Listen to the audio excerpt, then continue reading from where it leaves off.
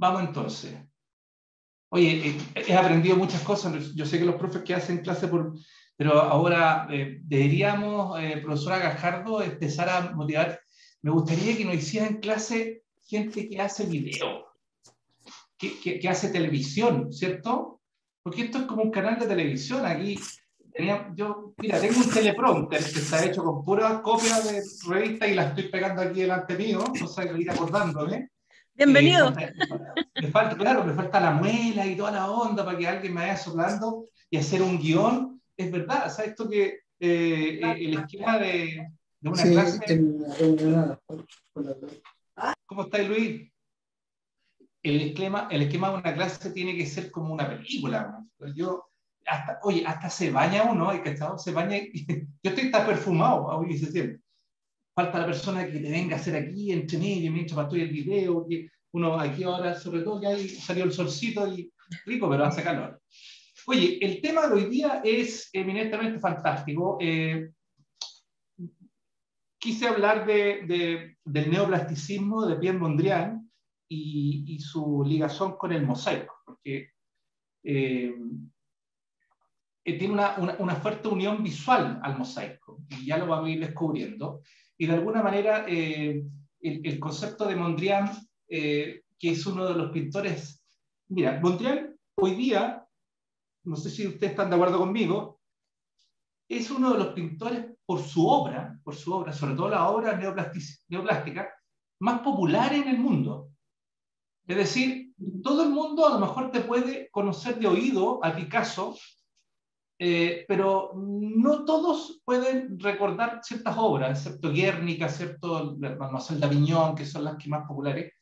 Eh, y así también pasa con otros artistas como Salvador Dalí, los relojes colgando, que la gente, oh sí, ese caballero que pinta cosas muy raras, como pero cuando, eh, quizás el nombre no tanto, pero cuando te muestran una obra geométrica de Pierre Mondrian, eh, tú inmediatamente se te abren los ojos y pero sí, que, porque lo has visto, porque lo has dibujado, porque, porque lo has visto en la calle. Nosotros, lo, bueno, yo en este caso, y me atrevería a decir que don Luis Maldorado, eh, eh, somos los más viejos de este grupo, por lo tanto, recordamos, y, y los demás, a lo mejor chiquitito alguno de ustedes, el famoso videoclub Errols, ¿ah? el anterior al, al Blockbuster.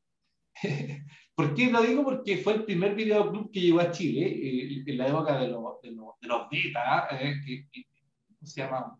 Uno iba a, a arrendar películas. ¿Y, ¿Y, por qué lo digo? Porque el interior, siendo una multinacional, eh, estaba diseñado en función de la obra de Pierre Mondrian, con estos rectángulos de colores primarios y líneas negras, qué sé yo. Entonces, siempre como que estaba presente y uno, por eso se le llama que es el artista por su obra el más popular, más reconocido. No lo reconocen tanto por el nombre, ¿ah? eh, y, pero cuando uno le dice, uno, aquí tengo una anécdota yo que quería contarle, incluso algunos alumnos lo han pasado conmigo. Esto eh, lo aplicado, preferentemente lo aplicaban en, en, la educación escolar con los niños de, colegio, eh, pero también lo hice y, y, lo sigo haciendo con los universitarios sobre todo cuando, cuando me doy cuenta que no captan el... Porque ¿para qué estamos con cosas? El tema de la educación artística, visual o plástica no, es, no, no la tenemos muy profundizada nosotros. Ah, bueno, vamos, vamos, estamos en el mundo de las críticas, ¿cierto? Voy a ponerme como la red. ¿Para qué estamos con cosas? En un mundo donde tenemos dos horas a la semana en algunos cursos y, y, y en ciencia media que no tenemos ni siquiera una de artes, difícilmente vamos a tener una cultura artística. Entonces, aprovechando un poco de la ignorancia de mis alumnos, esto va a salir yo creo que ocasión y me va a meter mi, licencia, yo empiezo a jugar con ellos, entonces, ¿qué es lo que les digo? Empiezo a hablar, ustedes conocen al pintor, pero, pero los confundo, porque le digo, yo sé que no los conocen, le digo, por ejemplo, eh, hago la inflexión de la voz. Digo, ustedes conocen a Pablo Picasso, y, me dice, y yo le digo, ¿de qué, ¿de qué país es Pablo Picasso? Y me dice, Italia. Y lo jodo. ¿ah? Digo, Picasso, no, pues español, ignorante. Le digo, no, no. Eh, lo mismo pasa con el Joan Miró. ¿De dónde Joan Miró? Joan Miró, y le pongo color con, con el sonido cultural y me dice Francia. Francia. Entonces, claro, están aquí no conocen de dónde de España. Eh, lo que pasa es que eh, la confusión del, del es, el Juan en catalán, ¿no? En, Joan. Eh, eh, en francés es Jean. ¿ah? que paréntesis el, el nombre eh, Juan es uno de los más reconocidos en diferentes idiomas. Lo mismo pasó con Pierre Mondrian. ¿ah? Yo les digo a ustedes que Pierre Mondrian, ¿de qué país es? El que sabe, sabe, y el que no sabe puede chapullar. Inglés. ¿Ah? ¿Inglés? Inglés. ¿Inglés? Bien, mira, pero escuchen la pronunciación. Pierre Mondrian. Suena, francés. Suena como francés. Entonces, vamos. No es francés. la Cata, no es francés. Javiera, eh, Enrique, Susana, Maitel, profesor Luis, ahí, ¿quién, quién se atreve a chamullar? No, el silencio otorga. No, el silencio otorga. Es neerlandés.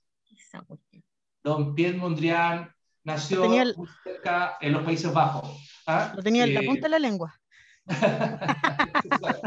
el, neerlandés, claro, el, este señor, y de ahí está la cuna de lo que nosotros hoy día vamos a conocer. Y como todo, todo, todo concepto artístico no tiene sentido si no hay un, una atmósfera, eh, les voy a mostrar un, eh, las producciones Faundes y Faundes y compañía, hicimos un video como el del otro día, muy bonito ahí, con, con la ayuda de, un experto ahí que se llama Andrés, Andrés Faundes, que es mi hijo. Eh, hicimos un video muy entretenido con las imágenes para que ustedes conozcan el contexto donde está Don Pierre Mondrian. Y para eso hicimos un resumen muy entretenido desde, desde una época del, del naturalismo para adelante rapidito y cómo se va llegando a estos lenguajes modernos del siglo, final del siglo XIX y, todo el siglo XX, que hoy día están en boga, porque hasta el momento, eh, aparte de la, de, las instalaciones que, se hacen mucho hoy día, en el arte plástico no hay mucha, nada nuevo, ¿ah? no, hay, no, hay, no, hay, muy pocas cosas nuevas que se han hecho en el siglo, final del siglo XX, principio del siglo XXI. Así que les voy a compartir este video para que, para que veamos cómo, eh, de, qué estoy hablando. ¿ah? ¿Me permiten? Vengo al tiro.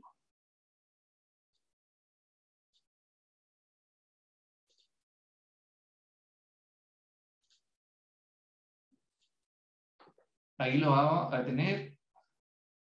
Me lo dejaron en un... Ahora con este asunto de cambiar el... Cambiar el, todo, todo el concepto de Zoom, lo tenía todo clarito. Yo que soy más redondo que una lluvia con respecto al tema de la tecnología. Lo tengo todo bien apuntado. Punto uno, paso dos, paso tres. Ahí la Susana sabe perfectamente los controles que me. Deme un segundo. Ahí lo voy a ahora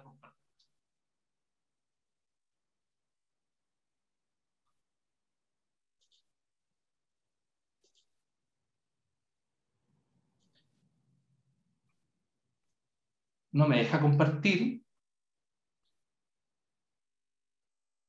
¿Qué me dices tú? Eh, Inténtalo de nuevo. Em, compartir no pantalla con audio, claro. Si no puedes, puedes mandárselo a la Martita a lo mejor, como ella está ahí. Se lo mandas por el chat, se lo mandas por el chat y ella lo abre. Sí, también. O por el correo. O por el correo. Yo estoy atenta, profesor. Ya, voy a hacerlo así entonces. Voy a mandar Martita, lo mandar inmediatamente ahí.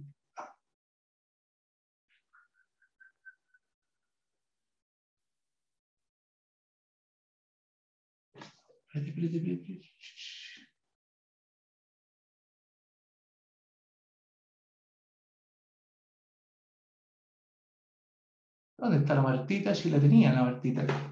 Voy a verlo desde Perdone, chiquillos, pero... Mm.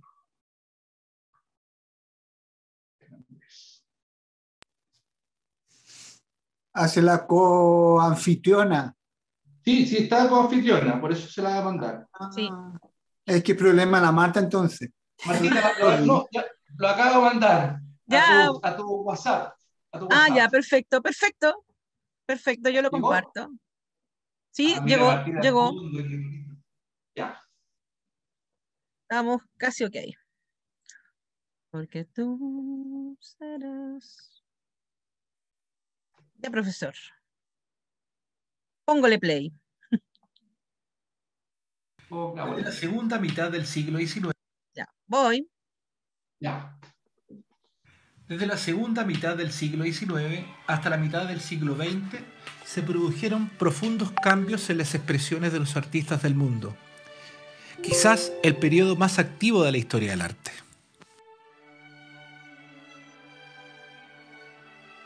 En contraposición al romanticismo, en el último tercio del siglo XIX, nace en Francia el naturalismo, movimiento literario fundado por el escritor Émile Zola. Sus principios se extendieron rápidamente al arte plástico, en especial a la pintura. No más estilización, no más visiones e imágenes de una aristocracia ciega. Los desposeídos, la pobreza y la explotación pasaron a ser los temas centrales de los pintores y escultores naturalistas. Del latín naturalis, que es la representación de objetos y ambientes realistas en un estado natural. Con el naturalismo, el realismo romántico llegaba a su fin. A poco andar, en el año 1874 en Francia, Claude Monet junto a otros artistas, sacaron los atriles del taller y comenzaron a pintar los efectos de la luz sobre las cosas, en especial en paisajes.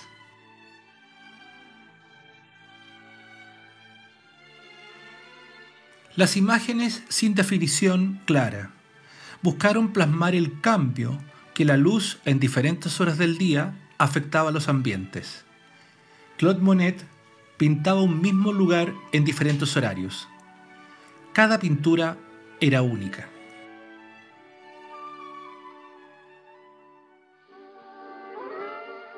Al final del siglo XIX, Europa experimentó los cambios más profundos de los últimos 500 años. Las consecuencias de la revolución industrial del siglo XVIII se manifestaron intensamente. Ciencia, tecnología y la producción económica fueron la base de la nueva estructura de la civilización.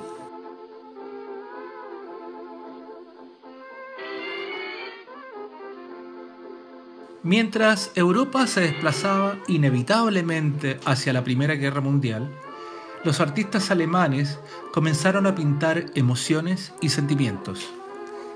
Dejan atrás la realidad visual y la cambian por la visión interior del artista. Nace el expresionismo. El expresionismo alemán coincidió con el fauvismo francés colores violentos, expresiones grotescas, deformaciones de la realidad, en fin. Edward Munch, Kandinsky, Klee, Chagall, Modigliani y muchos otros liberaron las artes. Entre todos ellos, Vasily Kandinsky sería el artista más influyente de Europa y de las futuras generaciones. Influenciado por las pinturas de Monet, a los 30 años dejó la abogacía y la docencia en Rusia para iniciarse en Francia en la pintura impresionista.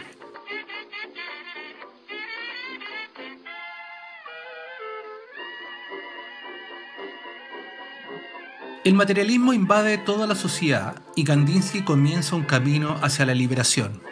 Poco a poco y con acelerado ritmo comienza a abandonar toda la realidad objetiva. Así en Alemania en 1904 nace el abstraccionismo de Kandinsky. Para Kandinsky, la representación del objeto es secundario, incluso perjudicial. Decía, la belleza del arte reside en la riqueza cromática y en la simplificación de las formas.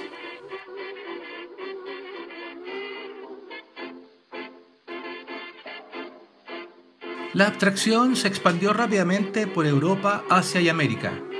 Así, bajo la influencia del arte abstracto de Kandinsky, en los Países Bajos comenzó uno de los movimientos artísticos más importantes del siglo XX.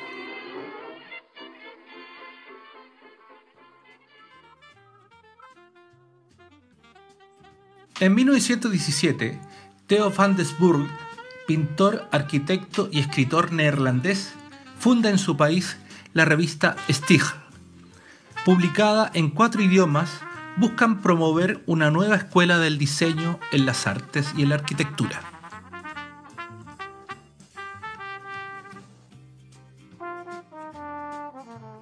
Junto a otros pintores, diseñadores y arquitectos presentaron un mundo rectilíneo.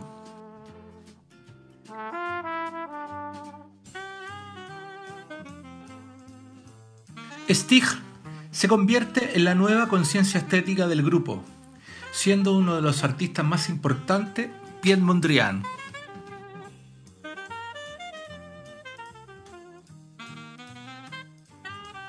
La revista siempre planteó los componentes básicos en sus publicaciones. Líneas, planos y cubos, siempre verticales y horizontales con colores planos.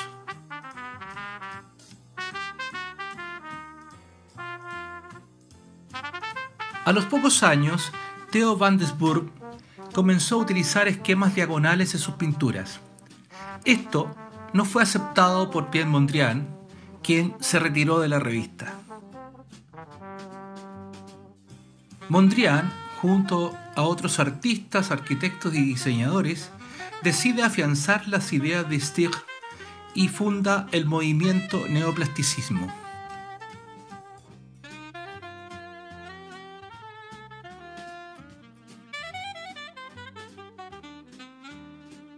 En sus primeros años, Mondrian se centró en el academicismo y en la tradición paisajística holandesa. Luego, atraído por las pinturas de Break y Picasso, viaja a París, en donde comienza su periodo impresionista.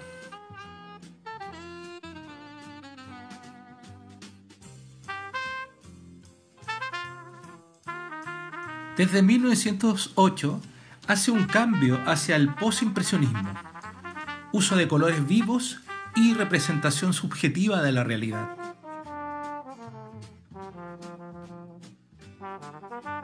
Desde los molinos al sol, Mondrian deja definitivamente el realismo. Por esta serie de pinturas lo consideraron loco.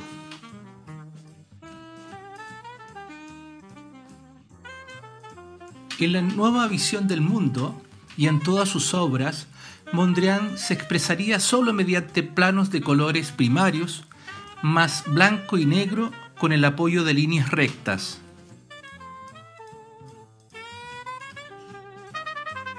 Muchos lo llamaron despectivamente el pintor de los cuadraditos, pero sus obras tenían un sentido de abstracción geométrica de un equilibrio cromático perfecto. Sus técnicas, el óleo y el acrílico sobre tela y madera.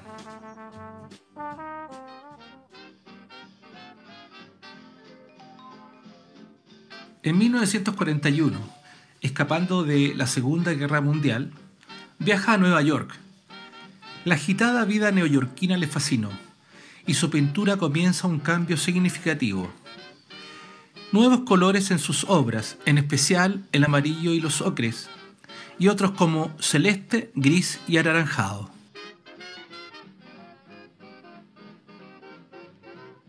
Desde joven Mondrian amó el jazz, en especial el tradicional, Siempre pintaba escuchando esa música e incluso bailaba entre pinceladas.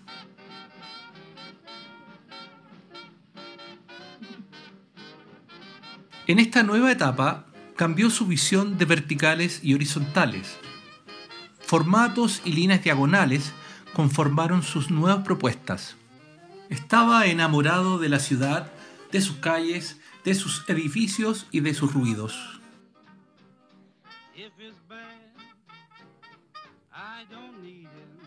Broadway Boogie Boogie, 1943, la obra más importante de su etapa neoyorquina. Boogie Boogie, un ritmo al estilo del blues, sincopado y de libre improvisación, inspiró este óleo. La ciudad y sus luces, sus autos, un verdadero mapa noli de Manhattan, hoy en el MoMA de Nueva York.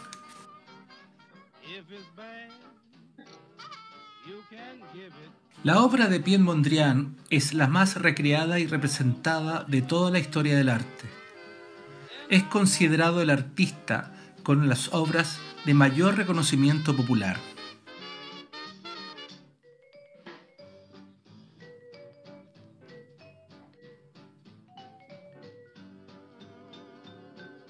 ha sido hasta el día de hoy la inspiración en la arquitectura, en la moda, el diseño industrial y el diseño de interiores de muchas escuelas. En el mosaico, la presencia del neoplasticismo de Mondrian ha sido permanente, en especial por la facilidad de su geometrismo y su similitud con la técnica musivaria del opus tessellatum.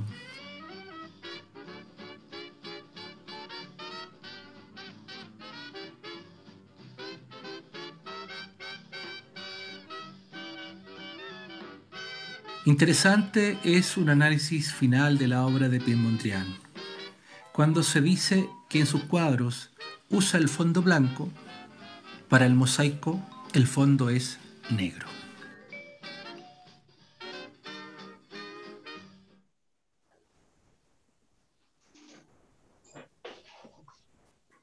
Excelente.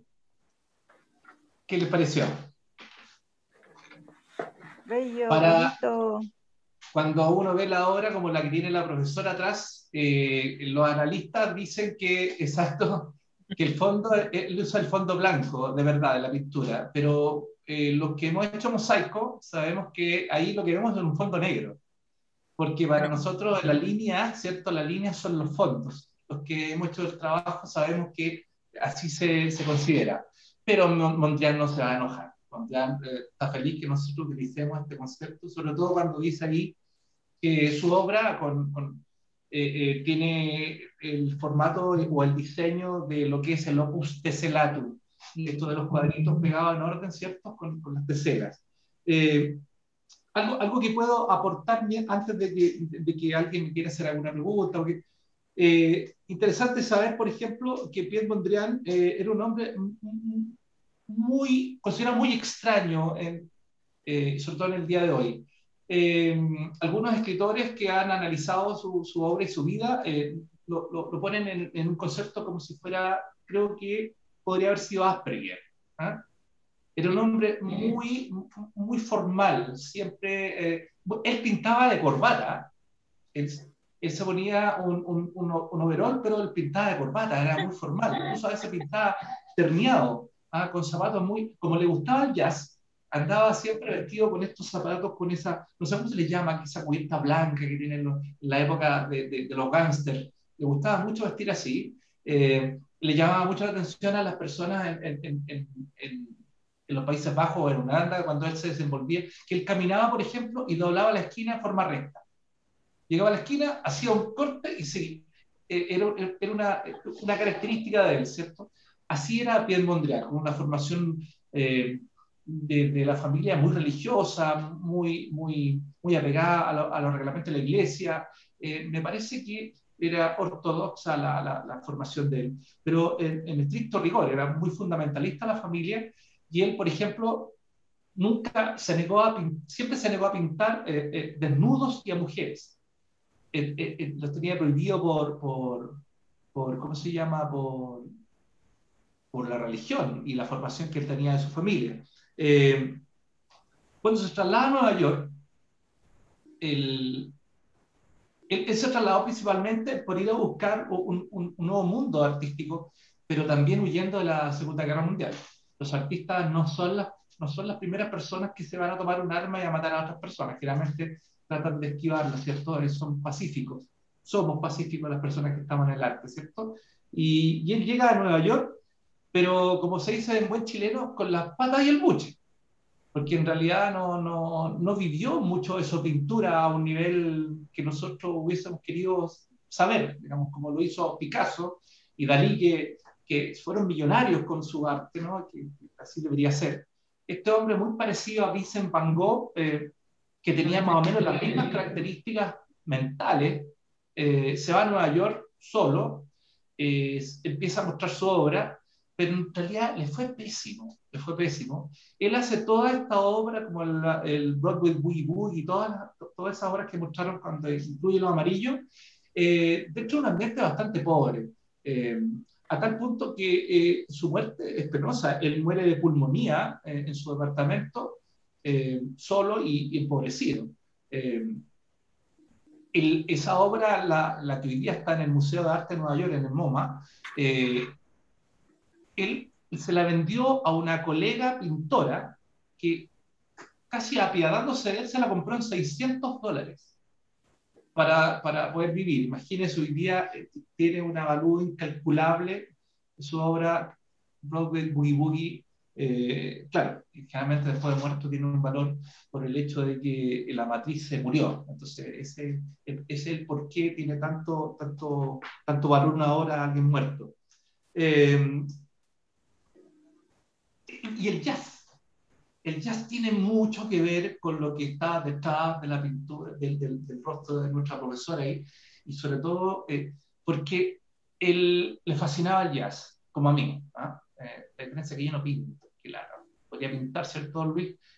Podríamos ser ricos ahí compartir tanta, tanta cosa. Eh, y en base a eso, yo les quiero compartir, ahora voy a tener que hacer lo mismo con la profesora, les quiero compartir un, video eh, maravilloso de, lo que es el concepto del jazz en la vida y en la obra de Pierre Mondrian. Me dan un segundito y se lo manda la profesora al tirito. Vamos a ir a ver dónde está.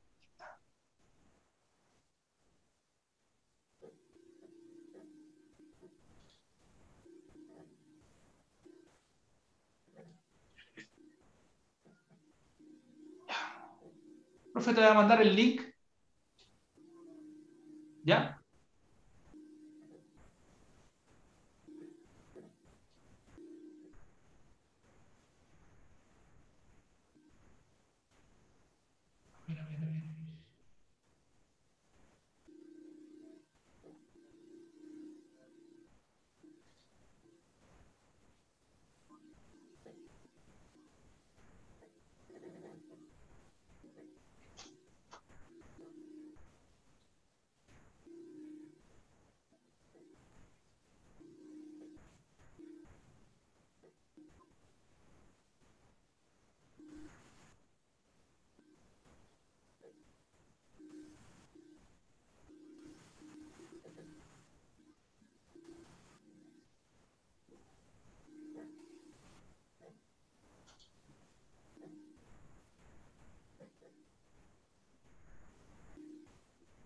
Nuevo está saliendo otro. Dame un segundito. Le voy a, yo me voy a querellar en contra de, de Plaza Reuna por haberme hecho esto, pero bueno, lo vamos a hacer el lunes. No se preocupe, profesor, a todos nos pasa lo mismo. Se lo voy a, se lo voy a mandar a, ¿cómo se llama? Al Tribunal Constitucional esta cuestión. Oye, pero está bueno el video igual. Está buenísimo. Oye, sí. Está ah, precioso, estoy encantada. Yo quiero. profe, profe Marta, te mandé dos, ah, eh, dos links, ¿ya? Ok, es que este está lindísimo, voy a dejarlo en pausa. El, el primero, eh, mandé por el tiro, ¿cierto? Broadway Boogie Boogie. Ok. Donde está, dice Jason Moran, ¿no? Dice Broadway Boogie Boogie. Exacto. Y Mira, ¿Se equivocó la profe Marta? ¿Se, equivocó la profe Marta? Eso no pasa, Maldonado. No. eso, eso es bromita para que para todo, ¿ya? Mira, por favor, ponlo y, y, y disfrute. Es, ahí está nuestro pie Mondrian. Perfecto, voy a agrandar. Oye, eh, hay otro, espérate, espérate un poquito. El anterior, hay otro, ah, redúcelo, a ver. Tú me dices. ¿Dónde está el hombre ahí eh, con la boina? Este. Ese primero. Ese, oh, ok. E, está en inglés, pero lo van a entender. ¿ah? Lo, voy a agrandar nuevamente. ¿Se ve? Sí, pero ese no es, ¿no? Ese no es. El video. No, el. Dame un segundo. Este, ahí sí. Me devuelvo. Este. Ese es. Ese. MoMA. Ok. ¿Y es uno de los más grandes ponentes del piano en el jazz en Estados Unidos ahora. Jason Moran. Voy. Jason Moran, pianist and composer.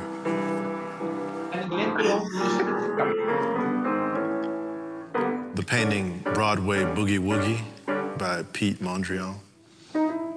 Where does the boogie woogie come from? The boogie woogie is traditionally a blues. That's just it. I think the coolest thing about a boogie woogie is what the left hand does. That's the boogie part. Um, the woogie part is the right hand and how it solos. What seems to be the left hand is all of the smaller squares that are, you know, just continuing to wipe across the painting from left to right. The right hand is the larger pieces. It's a conversation the left hand, and the right hand. It's a conversation between how do you perforate the white space? That's a C. The two blues are C, and then those two up there. Boom, ding, ding, ding. I mean, this this is a score. Ball,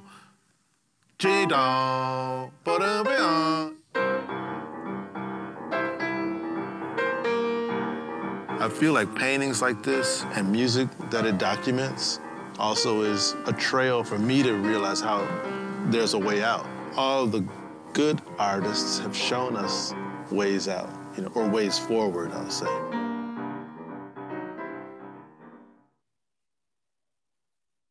Ya, profe, y tiremos al tiro el otro.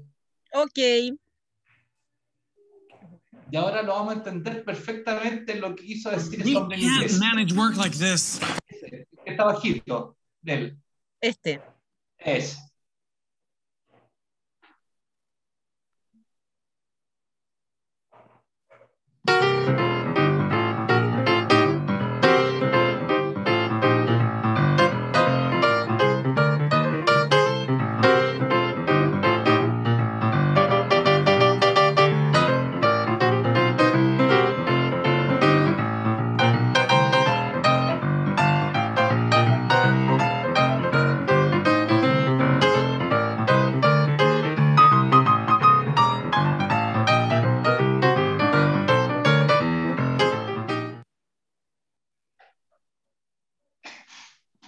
Qué raro, ese no era. el, que, el que dejo de compartir. Ese que está. Ese que está eh, el, que enviaste, el que enviaste por. Eh, claro. Ese es un resumen muy loco del, del, Pero está muy bueno ese. Bueno, el, el, yo, yo quería captar, ¿no? Imagínense el Pierre Mondrian, eh, ¿qué es lo que hizo con ese tema? Y el, eh, Jason Moran lo que interpretó, eh, lo que, bueno, es un, es un, acercamiento a lo que él quiso hacer. Eh, ahí está, ese es. Ok. Ese. Es maravilloso.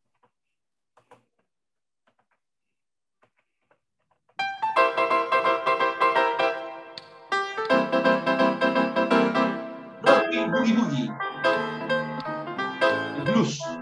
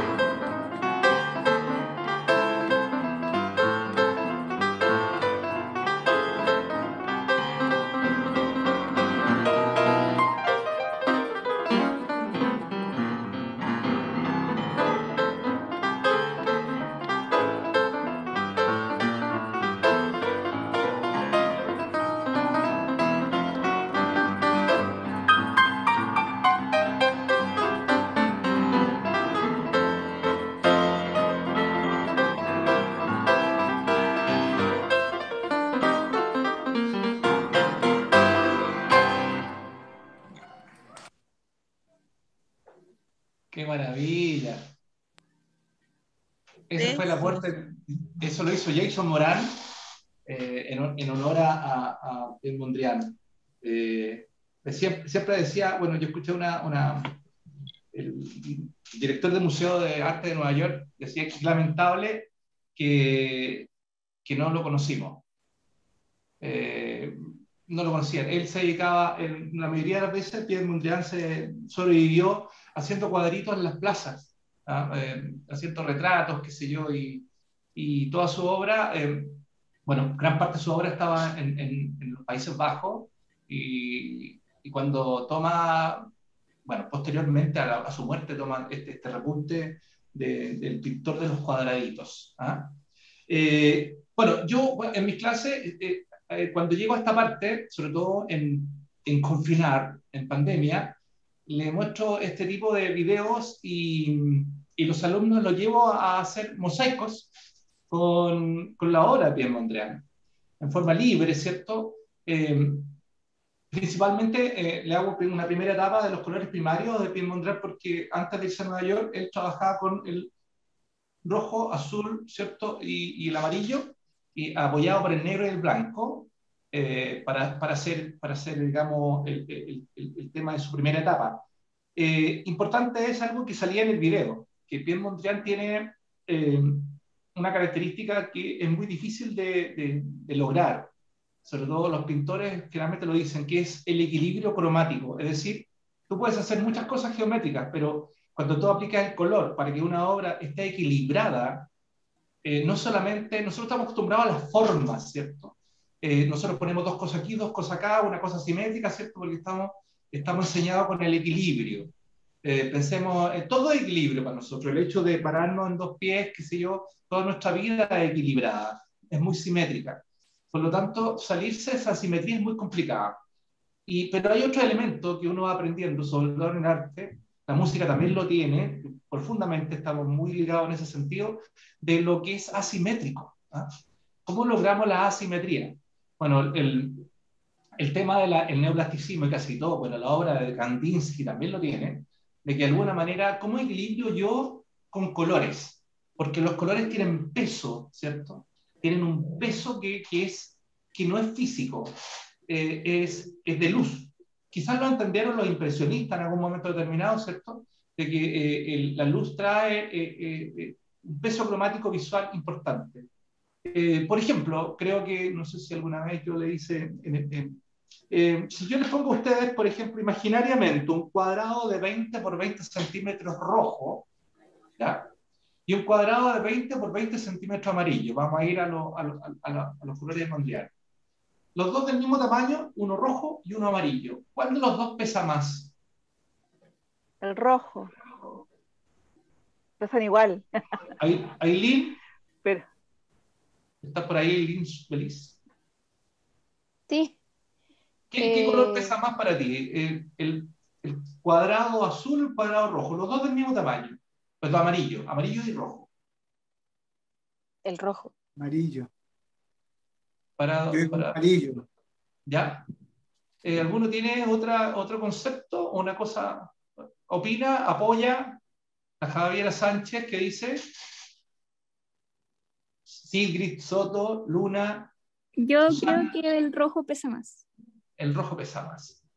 Martita. Me gusta el rojo. Nada que ver la respuesta. La respuesta correcta, eh, y se, háganle la pregunta a todos, porque no, hay, cosa, no puedo negarlo, no hay cosa de mayor goce que cuando uno ve la ignorancia en el otro. porque hay unos engrandecen. Yo siempre le digo a los alumnos, yo siempre traigo preguntas que yo sé que ustedes no van a responder para quebrarme, no, para quebrarme. Ah, no se le pega, es feo. La respuesta correcta es depende. ¿De qué lo acompaña? ¿De qué depende? depende, buena. Depende. Según cómo se mide, todo depende. Depende, depende de la luz. Dos cuadrados del mismo tamaño, uno amarillo y otro rojo. ¿De qué depende? Depende, todo depende. Es cara de palo. de la mirada y de la ubicación, donde esté.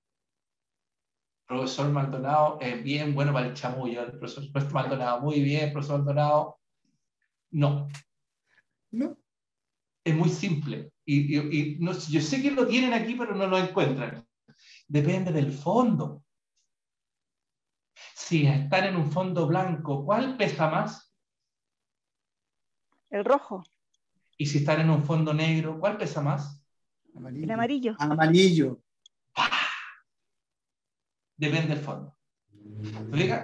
Eh, los colores tienen en sí mismos, ustedes lo que hicieron fue muy interesante, porque lo que hicieron le dieron un valor que es el concepto psicológico que nosotros le asignamos a los colores.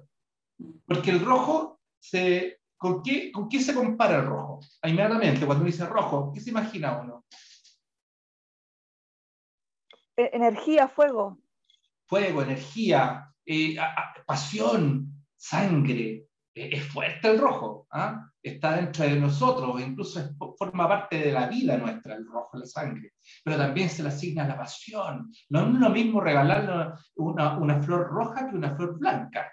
¿Cierto? En la flor roja ese hombre lleva cochinada por medio, cuidado con esos hombres, porque está regalando pasión.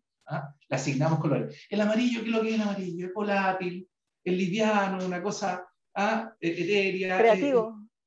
creativo. Exacto. Es creativo. se lo asignamos también como un valor de la guagua, de los niños, está como livianito, hermoso, ¿cierto? Eh, eh, esa es la diferencia. Pero en realidad, cuando se le aplica al arte, uno tiene que ir fijando muchas cosas, como elementos como el, que le hablo yo, que es el fondo. Entonces, ¿qué hace Mondrian? ¿Qué hace Kandinsky? Si va a trabajar sobre un fondo blanco, eh, aunque sea con un borde negro, un cuadrado rojo y un cuadrado amarillo, entendiendo Mondrian que el cuadrado amarillo pesa menos sobre el fondo blanco, ¿Qué es lo que hace? Lo baja en, en, en volumen el rojo y agranda el amarillo, inmediatamente se produce un equilibrio. ¿Me entiende cómo va? Es un concepto básico del equilibrio del color, es lo que estoy diciendo, pero es más o menos eso.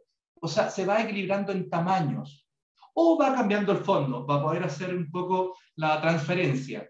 Y el negro, aquí la línea negra, ah, juega un papel muy importante porque es el que hace el nexo para que se pueda producir este equilibrio. Porque si yo hago un rectángulo amarillo sobre fondo blanco, aunque sea grande, y un cuadrado chico rojo, sin nada, igual va a pesar el rojo. Porque, eh, pero si le pongo alrededor una línea negra, como lo que hace Mondrian, ah, el amarillo inmediatamente, porque el negro fue el que le dio el peso. Entonces con eso va jugando bien Mondrian. ¿ah? Es un juego eh, intelectual, a pesar de que los artistas lo traen como inmerso, es como, como el, creador musical, es como el Mozart que no, no, no la piensa mucho, en cambio los artistas plásticos son lo mismo, aplican el equilibrio igual. Dentro de esa lógica, también eh, cabe eh, explicar un, ejemplo con respecto al tema del color, que tiene que ver con, las posiciones de las cosas, no el color, sino que cuando tú pones eh, el factor de equilibrio psicológico. Este es un equilibrio cromático, de color, lo que acabo de hablar, lo que hace el mundial. Pero hay otro eh, eh, equilibrio conceptual. Por ejemplo, si yo pongo en una imagen, en, arriba de un plinto, de un piso, pongo un bebé, un bebé en una canastita, un bebé hermoso, ¿cierto? Y está en el extremo donde yo tengo mi mano, este ahí está ubicado el bebé. Y en el otro extremo del cuadro, del encuadre, del formato, hay tres leones inmensos que están en posición de ataque a la guagua. ¿Ya? Entonces la pregunta es, ese cuadro en un extremo con estos tres inmensos leones y en el otro quema una guagua en una canastita hermoso, casi moviendo las patitas, ¿está equilibrado el concepto sobre un fondo blanco? No importa, el fondo está en buen contraste, pero el concepto del equilibrio eh, formal o el abstracto, ¿está equilibrado? No. No, dice Jessica, ¿por qué? No, porque lo que te provoca a la vista eh, eh, son, son cosas demasiado distintas. Lo que uno al observar y lo que, lo que, digamos, las prenociones de cada persona tienen que ver con la violencia de los leones, lo que puede pasar con esos leones, y la ternura y la mm, vulnerabilidad de ese bebé, quizás. No Tú dices que está cargado al lado de los leones. O sea, lo, lo, lo siento, claro, sí, sí. Sí, está más cargado, más, más potente la, la imagen de los leones, más agresiva. No, ¿Están de acuerdo? ¿Hay alguna persona que eh, difiere? Puede depender del color, creo yo, del color que, que le pongas, porque si el si esto si los leones están como en un negro ocre por ahí y el niño tú le pones un amarillo destellante con dorado, no lo tocan, pues jamás van a llegar. Claro, o sea, hay un, hay un, hay, hay un, una, un concepto dramático ahí. claro. ah, puede ser. Pero yo te estoy poniendo en el caso ideal de que hay un fondo que, los, eh, que, que a los dos los deja muy bien parados desde el punto de vista del contraste. Lo que estoy hablando es la obra dramática, el concepto del drama de la obra. ¿Está bien equilibrado? Si yo lo dejo como en un cuadro, la Jessica dice que, que no, porque se carga para el lado de los leones porque es demasiado, ahí hay muertes. Tú dices que depende de los colores, eh, y porque si le pongo un radiante, ahí se me equilibra. Buen punto. Eh, claro, intervenir un poco porque yo estoy haciendo cuadros y en este caso se lo estoy pasando a usted. Usted le está aplicando, tú le estás aplicando el color porque la obra es tuya y le pones los colores que querés. ¿Cierto? Pero la respuesta correcta es que está equilibrado. ¿Y por qué está equilibrado? Porque es precisamente, Jessica, lo que tú acabas de explicar, pero tienes que ponerlo en el concepto del equilibrio. Es decir, estos tres leones reflejan la ferocidad y tú sabes cuál va a ser la consecuencia, ¿cierto? Que se van a, le van a hacer chupeta a la guaguita, ¿cierto? La van a destruir, la van a matar. Por lo tanto, ese factor dramático de lo que le va a pasar a la guagua es lo que tú equilibras en tu mente. Por eso la guagua tiene más importancia en ese momento que los tres leones porque ahí está la vida, está el ser humano, y el ser humano siempre va a fijarse en, en, un ser humano cuando está en una obra o en una fotografía. Tú puedes fotografiar una montaña inmensa, maravillosa, pero si hay un escalador ahí, chiquitito, ahí, ahí se va nuestra atención. La atención del hombre siempre se va a donde está el ser humano, sea niño, sea mujer, sea hombre. Por lo tanto, tú desequilibras. Es muy fuerte la presencia humana en una obra eh, pictórica o visual. Es muy fuerte. Es por eso que cuando en el cine se utiliza mucho este concepto, cuando eh, no se pone la figura al medio.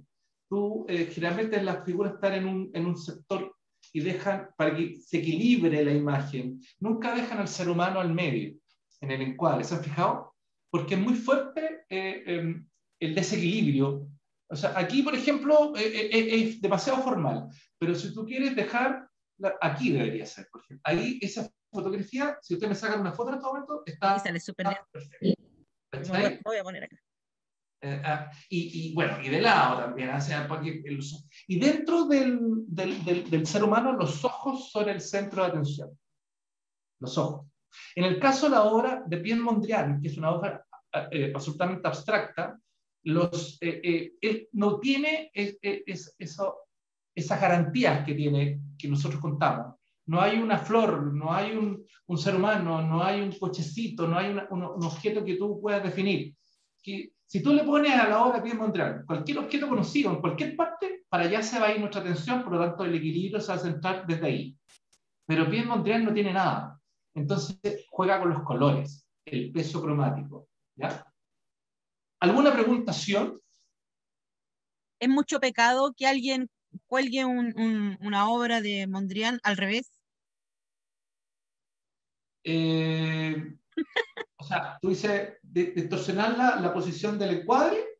No yo, no, yo digo no saber si, si es así, si es así, si es así. No es tanto pecado, finalmente. No, no, no, no, eh, eh, para nada. En realidad, eh, qué, qué, buena pregunta, porque es como el centro del concepto del arte abstracto moderno, digamos. ¿Cuál es la diferencia?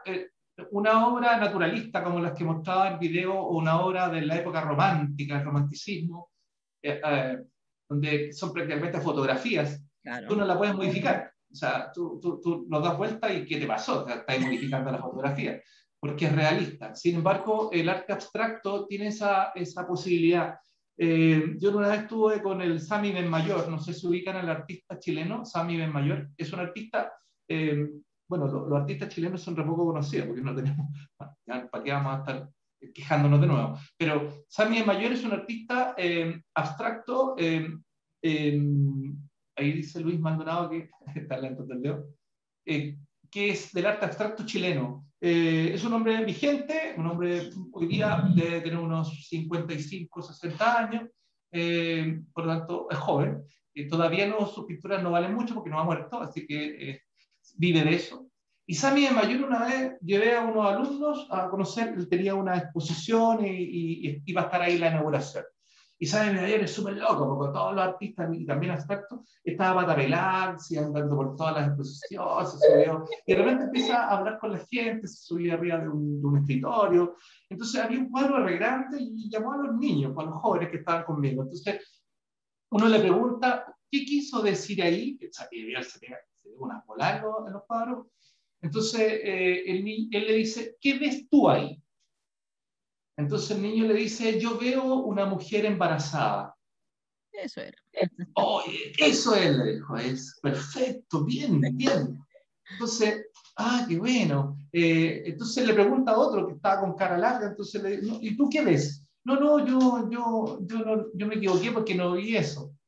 Entonces le pregunta, ¿qué viste tú? No, yo vi un paisaje loco, dijo algo del espacio. Dijo, eso es, dijo él también. Lo dejó confundido a los caros. ¿Cómo es? ¿Una mujer embarazada o un paisaje? No, le dijo, la obra es tuya, el, arte abstracto es tuya, así que la partita puede poner la obra abstracta en la posición que quiera.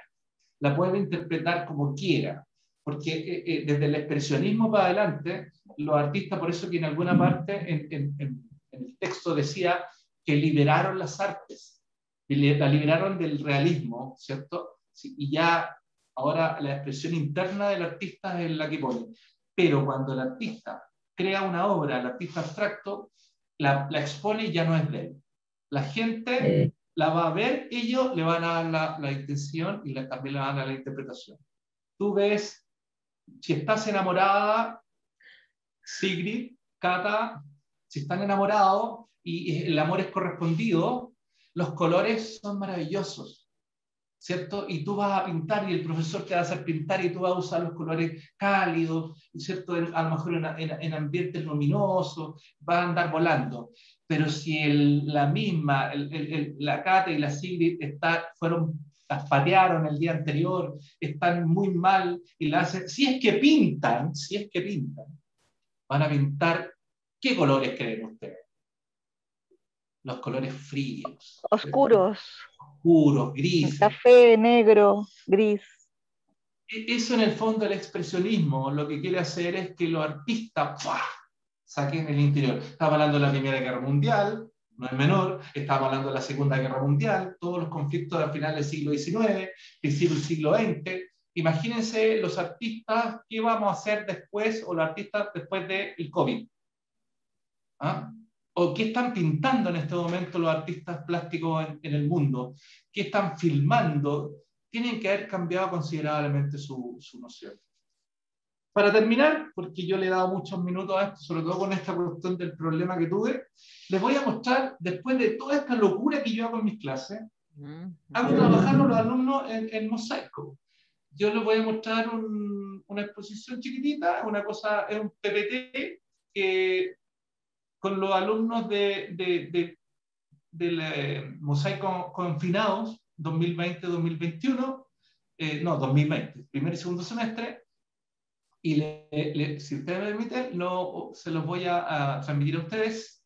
Ellos, eh, ah, les tengo que, mandar a la profe, oh, a la profe, la tengo aquí como voy a tener que darle unas lucas por esto. Eh, No sé si lo puedes mandar por WhatsApp, si no me lo manda al correo. ¿Tú crees que el, el PPT no, no, no, no, sé, por WhatsApp? No, nunca lo he mandado. Eh, dime, dime tu, correo cuál es. Ahí está el correo. ¿Dónde está el correo? En el chat, para que lo copies. Marta.gajardo. Gracias. Oh, no lo veo. Ese, pues, amigo, marta.gajardo, arroba usach. Ah, ya, perfecto. Ya, te lo voy a... Oye, mientras, mientras hago esto que es rápido, ¿alguien quiere hacer una pregunta, una intervención? Se supone que también esto es un conversatorio. Yo, yo no, no dejo conversar a nadie. Vamos. ¿Alguien tiene algún, algún aporte? Eh, yo. ¿Ya? Eh, que mm, conmovedora la historia del, de Mondrian. Eh, me recuerda un poco lo incomprendido que fue Van Gogh y si tenía esas oh. características de personalidad un tanto obsesiva o, eh, digamos, eh, del espectro autista, eh, debe haber sido difícil para él. Y, claro, ellos tienden a, a funcionar distinto desde, desde, la psicología. Claro, me, llama la atención cómo dolaba la esquina. Él, en el fondo, a lo mejor internamente funcionaba un poco con esos esquemas y también me, llamó mucho la atención, lo encontré hermoso, que él plasmara en una pintura la música. Es como para que vieran, como para que admiraran la música en una pintura. Eso como que eso fue lo que yo entendí que quiso hacer con el jazz. Lo encontré muy precioso eso. Gracias. fantástico lo de, lo de sí. Sí, lamentablemente se parece mucho a la historia de, de Van Gogh y de muchos, muchos como ellos, ¿no? Martita, ¿te llegó, parece? Cuando quieran, nomás vemos una pequeña exposición de los alumnos de haciendo mosaico neoplasticismo de Mondrian.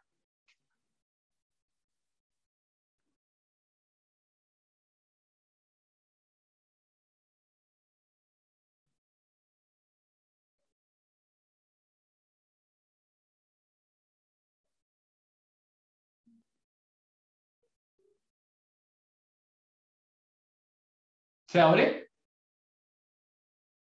Está silenciada. Sí, sí, se abre. Llegó, está, está, está correcto. Aquí tengo, ahí va. Tíralo nomás, cuando quieras. Voy. Voy. Sí, dale tú el ritmo, porque están, no está automatizado. Bueno, estas son eh, imágenes de Mondrian. Ahí abrimos nosotros la exposición de los alumnos de dos obras de Mondrian.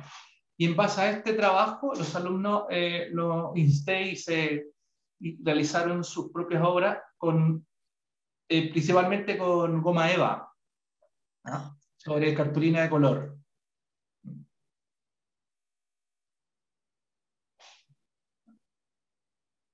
Ah, recordando ahí, pensando, nuestro fondo es negro y usaban la cartulina de color negro.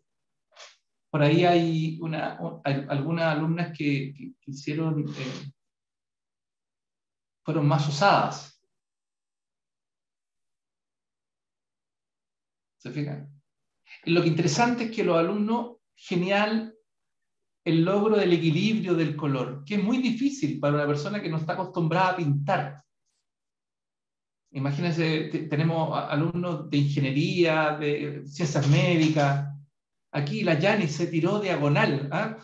algo que a, a, Pierre Mondrian le molestó de, su colega en la, revista Stig, pero después lo hizo en Nueva York. Él se liberó.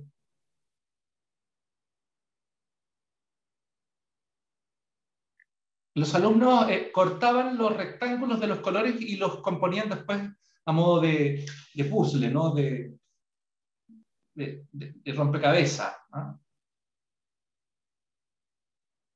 Mira, aquí Sergio ocupó otros colores. Mira, el Víctor se mandó el boogie boogie. Extraordinario, el Víctor Álvarez.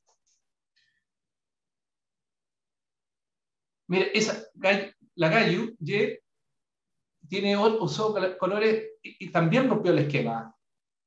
Fíjate que tenemos eh, destructores de esquemas como ellos. Yo voy a trabajar con colores más, más fríos. se me salió concepto de razón.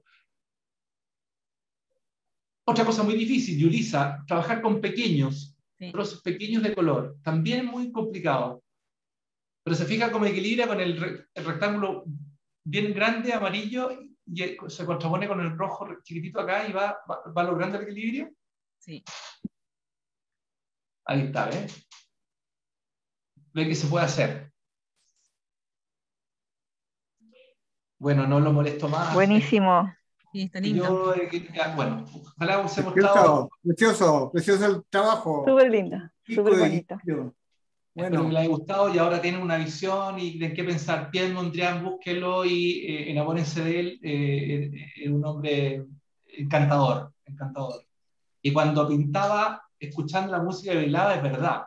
Hay un video de él que está moviéndose al ritmo del jazz, pintando extraordinario. Bueno, ese es mi aporte a ustedes, espero que lo hayan pasado bonito y, y cuando quieran, cuando quieran. Muchas, gracias, por el apoyo, Martita, se te agradece. Eh, eh, ¿podemos, podemos a, ver si podemos mostrar las caritas para sacar una foto? Gracias, Martita. De nada, de nada. Pongamos caritas y pongamos reacciones. Carita, ¿Puede, mostrarse para ponerla en mi, en, mi, en mi baúl de los recuerdos? Hola Cata, ¿cómo estás? La Javiera Enríquez, Sigrid. Hola, hola. hola, hola, hola a todos. Ahí está, hola, profe Jaime. A la una, pongamos caritas, a la una. A Javiera, la espérate, dos. espérate un poquito a ver si en la Sigrid pueda, la Maite y la, y la Sigrid y Javiera Enríquez se puede mostrar, por ahí apareció la Javier Enrique, qué bonito. La Sigrid, Maite, ahí viene la Sigrid. Eso. Maite, ¿estás por ahí? ¿Puedes? La Eileen tiene una foto, nos mató con eso. Sí, porque sale como, de verdad sale bien. Perdón, pero gracias por Salvo en esa foto, no, no, se compara como estoy ahora. Ah, ya, perfecto. Entonces, corazones a la una. La Susi también saca, ¿verdad? A las dos y a las tres. Bien, tu Martita? Saqué dos, pero puedes sacar otra porque por si acaso. Saca tú nomás y me las mandas todas nomás, si no sacamos. Oye, muchas gracias por la asistencia eh, y gracias por haber puesto un nuevo link. un beso a todos. Que estén muy bien, que les vaya bonito. Y los alumnos ya nos vemos. Que estén muy bien. Gracias. Chao. Gracias Chao. Chao. Chao. Chao, profe. Chao. Jessica, chao. Martita, te pasaste. Sí, voy a, enviarlo, voy a enviar el material con copia, dejo de grabar.